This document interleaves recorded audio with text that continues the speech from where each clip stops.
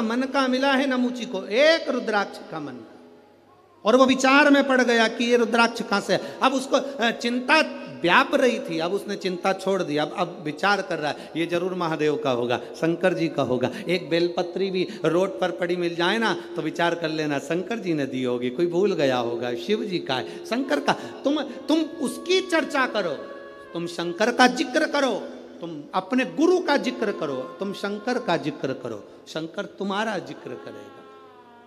पार्वती जी शिव जी से पूछती हैं, अपन किसकी कथा सुनने जा रहे हैं? शंकर भगवान करे राम जी की। सीता जी ने राम जी से पूछ लिया, तुम किसकी कथा सुनने जा रहे हो? राम जी बोले, शंकर जी की। क्यों? हम जिसकी ज़िक्र करते हैं, हम जिसकी चिंता करते हैं, हम जिसका भजन करते हैं, हम जिसका नाम लेते हैं, वो हमारा नाम लेता। है अगर तुम्हें कभी ऐसा लगे कि सियोर वाला महाराज गड़बड़ बोल रहा है, झूठ बोल रहा है तो प्रैक्टिकल कर कर देखना। एक कमरे के अंदर जाना, चारों तरफ़ दीवार में बंद हो जाना। बंद होकर किसी एक व्यक्ति से तुम निंदा कर देना किसी एक व्यक्ति की। तुम उससे कभी मत मिलना तो भी तुम्हारी निंदा। वो व्यक्ति भले ना कहे, फिर भी तुमने जो निंदा करी, वो उस तक पहुँच जाएगी। ये शरीर की तरंगे चलती हैं, जो हमारे शरीर के व्यवहार से बता देती है कि सामने वाले का व्यवहार क्या हो रहा है। सामने वाले का व्यवहार क्या है? ये बता देती है। कभी धर्म पत्नी से पूछना, वो कभी पति का मोबाइल नहीं टटोलती।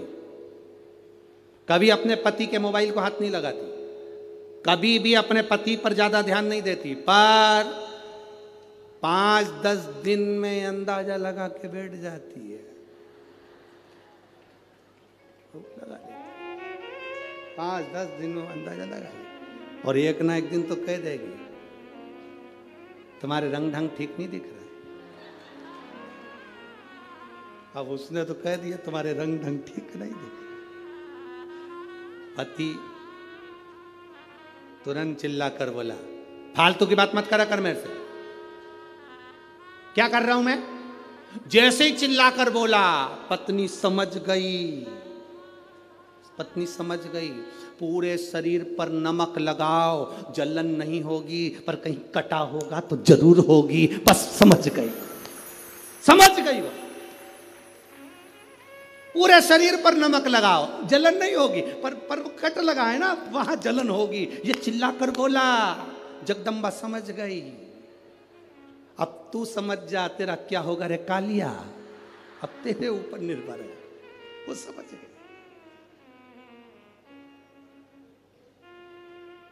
रोज सात बजे ऑफ़िस से आता था, आज साढ़े पाँच पे आ गया। साढ़े पाँच पे। अब तो और समझ गई। और बिल्कुल शांत चुप चुप बैठे हो ज़रूर कोई समझ गई आप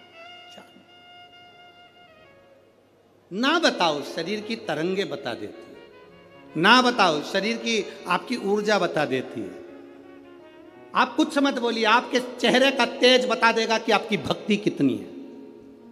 कुछ मत बोलिए आप, आपका भजन का बल कितना है, आपके चेहरे का तेज बताएगा। आपका चेहरा बता देगा कि आप कितनी भक्ति करते हो, कितना भजन करते हो, कितनी दृढ़ता करते हो, कितना स्मरण करते हो, आपका चेहरा बताए नमुची ने एक रुद्राक्ष को उठा लिया, शिव चर्चा में लग गया। शिव चर्चा में लगा। शंकर की चर्चा कर रहा था, इसलिए शिव जी वहीं पर प्रकट हो गए।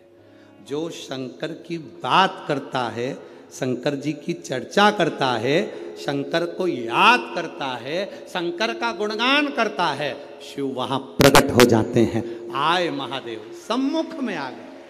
मेरे देवादिदेव महादेव वहाँ प्रकट हो गए। हे नमुची मांग तुझे क्या चाहिए? नमुची सोच में पड़ गया। मैं तो ना तप करा, ना साधना करी, ना व्रत करा, ना उपास करा। शिव जी मिल गए। ना कोई व्रत है, ना कोई साधना, ना कोई तप। शंकर मिल गए।